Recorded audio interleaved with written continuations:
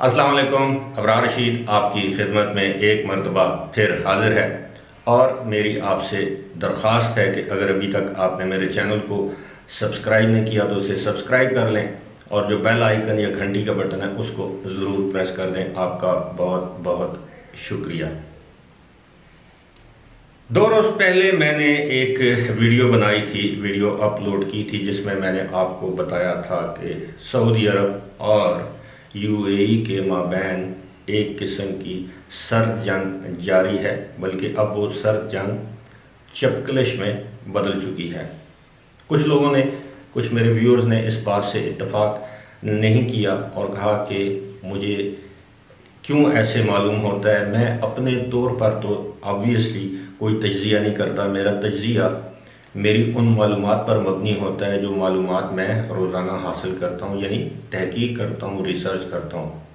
अच्छी बात सबसे ये है कि हुकूमत पाकिस्तान के ऐलान के मुताबिक, यानी स्टेट बैंक ऑफ़ पाकिस्तान के ऐलान के मुताबिक, नवंबर के महीने में सऊदी अरब से पाकिस्तानियों ने इकहत्तर करोड़ डॉलर की रकम पाकिस्तान भेजी, जबकि यूएई से 50 करोड़ डॉलर की रकम पाकिस्तान भिजवाएगी। ये पाकिस्तानियों ने ये रकम भिजवाई। इसके अलावा दीगर ममालिक भी, जो खलीजी ममालिक हैं, अमेरिका है, कनाडा है, बरतानिया है, वहाँ से भी रकम पाकिस्तान भिजवाई और कुल रकम जो है वो सवा दो अरब डॉलर बनती है। लेकिन सवाल ये पैदा होता है कि क्या ये जो पाकिस्तानियों की जो रकूम भेजने का सिलसिला है, इसकी जो, इसमें जो इजाफा देखने में आ रहा है, क्या ये इजाफा बरकरार रहेगा, रह सकता है या नहीं? और आप सब जानते हैं कि सऊदी अरब ने एलानिया तौर पर पाकिस्तानियों पर वीज़े की पाबंदी आयद नहीं की, ना ही एलानिया तौर पर कोई इस तरह की बात की है कि वो पाकिस्तानियों को वहाँ से निकाल लेगा। अलबत् इस तरह की खबरें ज़रूर गर्दिश कर रही हैं कि सऊदी अरब से बहुत ज़्यादा पाकिस्तानियों को बेरोज़गार किया गया है लेकिन इस बेरोज़गार, बेरोज़गारी की वजह कोविड नाइन्टीन ही बताई जाती है। ऐसा नहीं है कि सऊदी अरब ने दानस्ता तौर पर पाकिस्तानियों को बेरोज़गार करने का सिलसिला शुरू किया हो, लेकिन अलबत् एक चीज़ तय है कि इस वक्त सऊदी अरब में भी मुलाजमत के मौाक़े दिन ब दिन मादूम होते जा रहे हैं, यानी ख़त्म होते जा रहे हैं। दूसरी जानब अगर हम देखें तो यू ए ने भी एक गैर एलानिया लेकिन मौसर पाबंदी लगा रखी है पाकिस्तानियों पर हर तरह के वीज़ा जारी करने के हवाले से। लेकिन अगर हम देखते हैं कि अगर इन दो ममालिक के दरमियान किसी भी मामले पर चपकलिश होती है तो क्या उसका फ़ायदा पाकिस्तानियों को होगा? मेरे ज़ाती ख्याल में अगर दो ममालिक में चपकलिश बढ़ती है, जिनका मैं पहले नाम ले चुका हूँ, यानी सऊदी अरब और यूएई तो इससे पाकिस्तान की अहमियत में इजाफा होगा। पाकिस्तान या पाकिस्तानियों को इसका बिल वास्ता फ़ायदा ही हो सकता है। दूसरी जानब जो सबसे जो तकलीफ़ दह खबर है, वो ये है कि तारीख़ में पहली मरतबा, हालिया तारीख़ में पहली मरतबा हिंदुस्तान के आर्मी चीफ ने अब सऊदी अरब का दौरा शुरू कर दिया है। यानी सऊदी अरब वो ले गए हैं और सऊदी अरब से दिफाई ताउन पर वो बातचीत करेंगे। इसके अलावा वो यूएई और बहरीन भी जा सकते हैं। आपको मालूम होना चाहिए, याद होगा कि इससे कबल सऊदी अरब में पाकिस्तान के आर्मी चीफ को बड़ी कदर मंजिलत इज़्ज़त की निगाह से देखा जाता था और हमारे मुख्तलिफ़ जो पाकिस्तान फ़ौज के जो सरबराहान हैं, वो वक्ता फ़वक्ता सऊदी अरब का दौरा करते रहे, जिनमें ख़ास तौर पर जनरल राहील शरीफ और जनरल कमर जावेद बाजवा का नाम सर फहरिस्त है।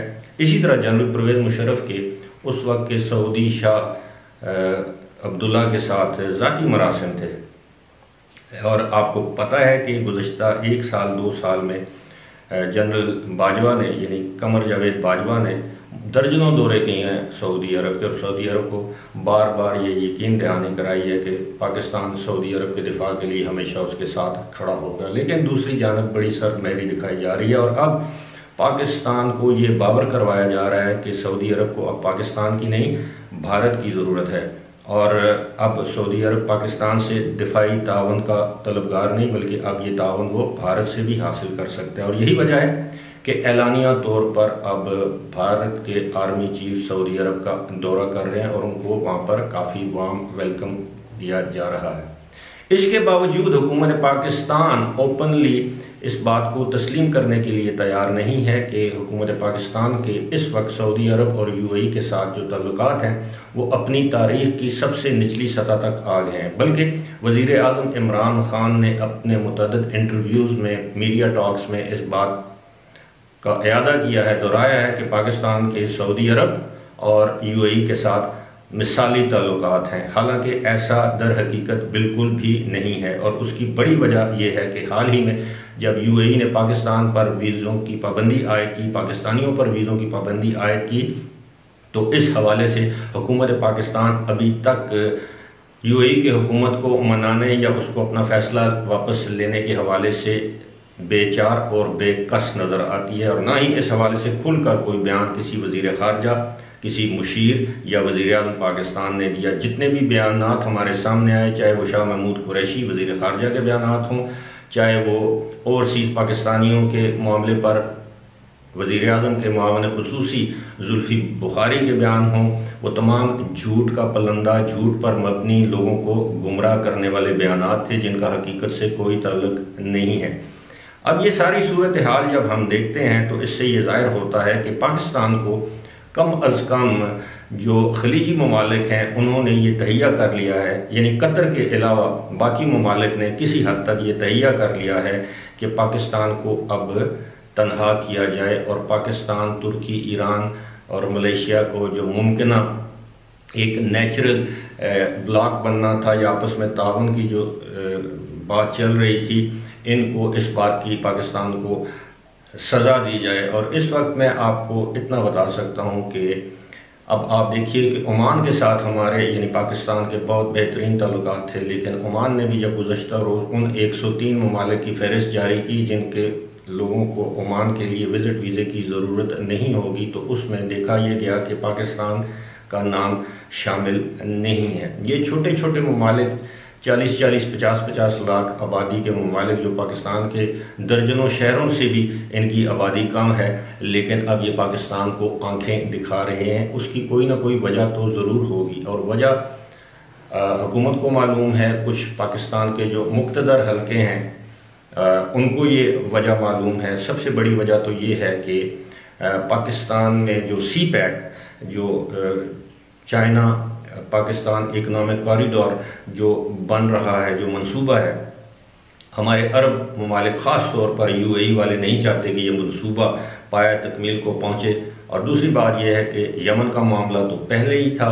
अब तीसरी बात यह है कि ये ममालिक चाहते हैं कि पाकिस्तान इन ममालिक के साथ मिलकर इकट्ठे, इसराइल के साथ तल्लक उसवार करने का ऐलान करे। अगर पाकिस्तान तस्लीम नहीं भी करता इसराइल को तो इसराइल के साथ गैर रस्मी से ही तल्लक उसवार करने का ऐलान करे और पाकिस्तान अपने आप को तुर्की और ईरान से दूर करे। अब ऐसा पाकिस्तान के लिए मुमकिन नहीं है। ऐसा कैसे मुमकिन हो सकता है कि पाकिस्तान ईरान, जो कि हमारा हमसाया मुल्क है और ब्रादर इस्लामी मुल्क है, पाकिस्तान अपने आप को उससे दूर करके किसी और के करीब ले जाए। लेकिन पाकिस्तान की हुकूमत की यह कोशिश और ख्वाहिश है कि पाकिस्तान एक बैलेंस बरकरार रखे तोज़ुन बरकरार रखे, दोनों ममालिक के दरमियान एक न्यूट्रल प्लेयर का किरदार अदा करे।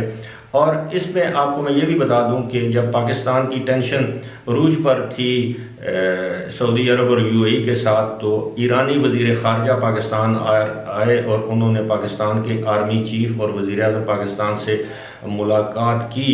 तो इसको भी एक इशारा समझा गया कि पाकिस्तान का झुकाव या पाकिस्तानी फ़ौज का झुकाव अब ईरान की तरफ़ है। यही वजह है कि अब सऊदी अरब ने भारत के आर्मी चीफ को दावत दी अब उनसे दिफाई मामला पर बातचीत जारी है। फ़िलहाल इसी के साथ मुझे दीजिए इजाज़त। खुदा हाफिज़।